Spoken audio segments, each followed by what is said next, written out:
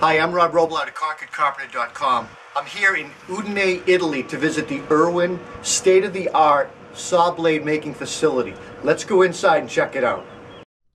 The facility that makes the Irwin blades was immaculate and you could literally eat off the floors.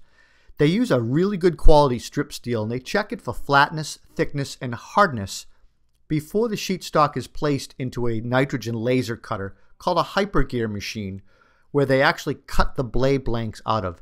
This is a completely automated process and is done with absolute precision.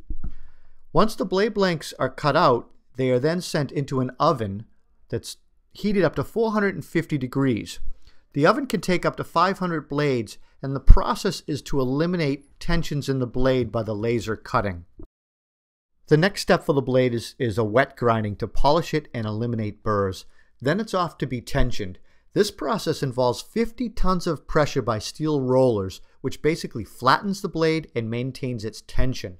From there, the blade has to be balanced and maintained and checked for flatness. It's a very manual process and it's done to maintain really tight tolerances. This next step was my favorite. It was the tip brazing. It's where they apply the carbide teeth to the blade.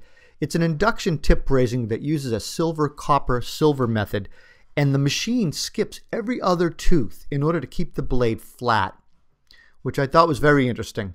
It also has a slow heating and cooling method to keep the blade strength and resiliency. Once this is complete, the blades are then sent off for sandblasting and a Teflon coating.